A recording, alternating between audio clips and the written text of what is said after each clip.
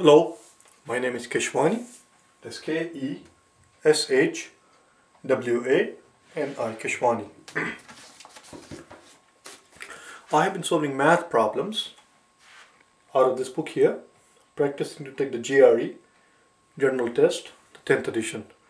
If you do not own this book already, purchase it immediately.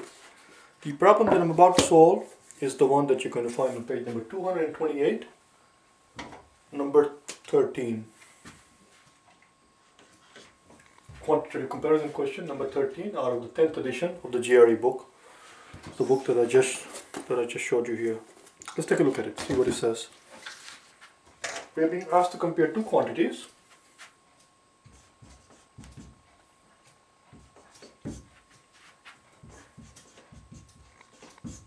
This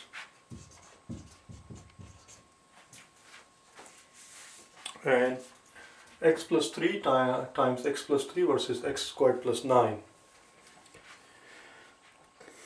When this exam was given, 31 31% of the people, only 31% of the people who took this particular exam got this question right.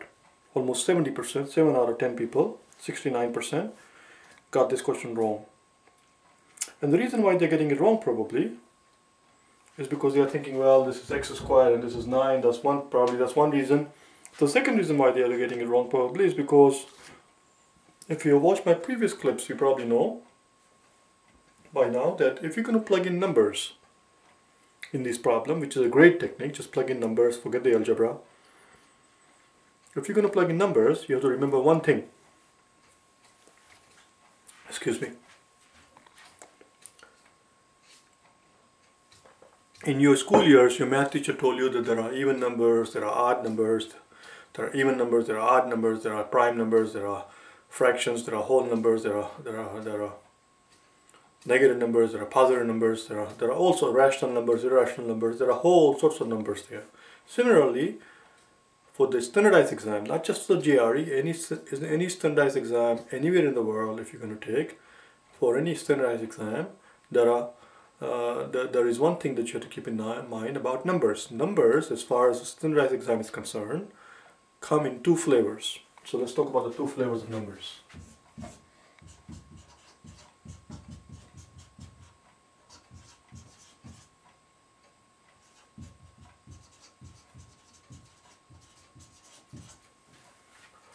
I spelled flavor here without the U for those of you watching outside the US. Uh, it's not misspelled, that's just the way it's spelled here. Anyway, they come in two flavors. Numbers come in two flavors. This is gonna get this is gonna get quite complicated, so pay attention. One is what I call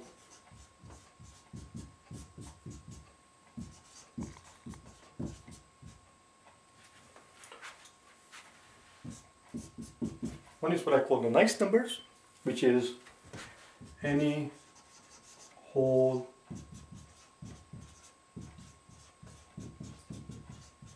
positive number.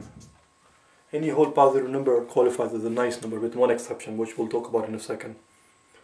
And then there are nasty numbers. The nastiest of all, the nastiest of all that you always have to keep in mind.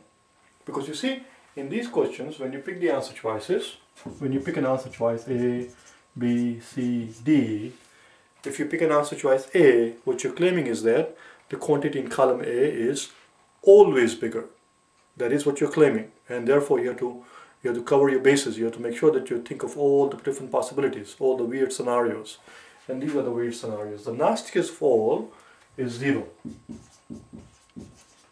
You always make sure that you that you that you uh, that you cover zero. The next nastiest one is 1 and then you have negatives and then you have your fractions. And if you keep the, if you keep this simple thing in mind if you keep this simple thing in mind you'll be fine. And that's what you have to do here. Because that's what you're claiming. If you pick A for the answer choice what you're claiming is that the quantity in column A is always bigger. Not just for the numbers that you picked here but always bigger. If you're picking B for the answer choice, what you're claiming is that the quantity in column B is always bigger. And if you pick C, what you're claiming is that the two quantities are always equal. Even though, even though on the top of the page, if you look at it, they leave out the word always. They do not use the word always, but that's what they're claiming here. Page number 228, let's see if we can find quickly.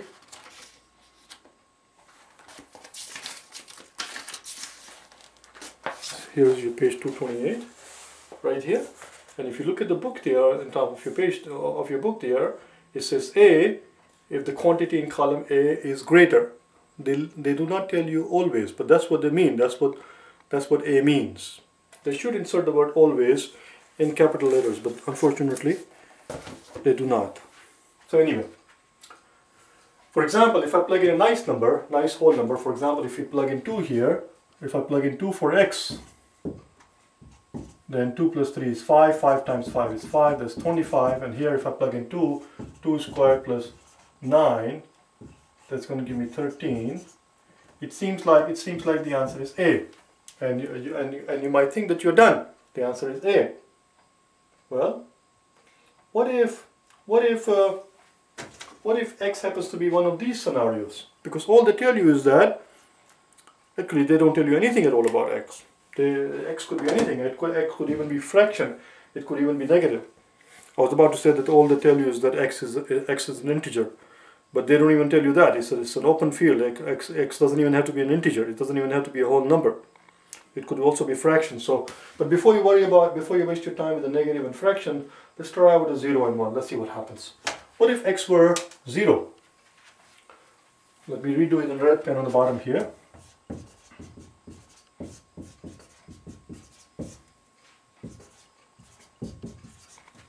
If x were 0, if x were 0, you get 0 plus 3 which is 3 times 3 is 9 and here you have 0 squared plus 9 you get a 9 the answer is C. Before the answer was A now the answer is C. You get a conflicting answer. And therefore because you're getting conflicting answer therefore the answer is D. The correct answer here is D. And that's all. Uh, that's what it is. You just have to plug in numbers and don't just plug in nice numbers make sure you mm. that you cover your bases. And as I said, you don't have to do all four of them because as soon as I did zero, I get a conflicting answer, I'm done. I don't have to try out all the others. If I had gotten the same answer, I would have tried one more time, maybe two more times, depending on depending on my mood, depending on how much time I have, depending on how much I want to invest into it. But anyway, let me redo the same problem one more time, a little bit differently. So that's it. We're done. The answer is answer is answer is D. Let me look at the clock in the back.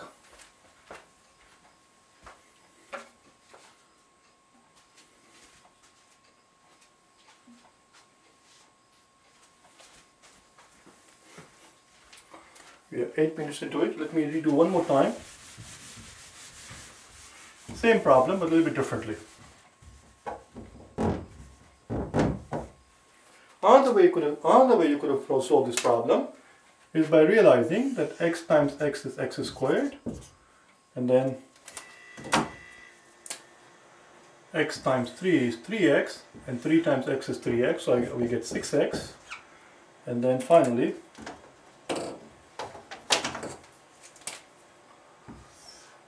3 times 3 is 9.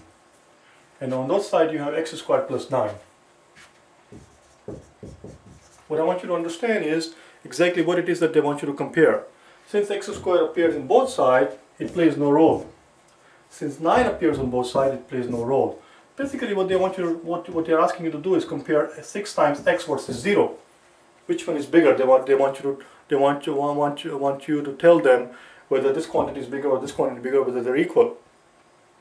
Again, if you jump to conclusion that 6 has got to be more than 0, you're wrong because it depends on the value of x. If x were negative, this quantity will be smaller and 0 would be bigger. If x were positive, this quantity will be bigger and 0 would be smaller. Or if x were 0, the, both quantity will be equal to each other. So, if x is negative, this is 0, the answer would be B. If x were positive, answer would be A. If x were 0, the answer would be C. As you can see, there are conflicting answers. Therefore, the correct answer is D. That's all. This, the, this is another way of doing this thing. The x squared do not play any role, and 9s do not play any role. Basically, we are left with 6x, and there is nothing left here, which is as 0. I hope you found this helpful. If you wish to get hold of me for personal private tutoring or if you wish to buy the solution manuals to these problems, in either case, go to my website at www.prep, P-R-E-P, F-O-R-4, G-R-E.com and send me an email. Alright? Thanks.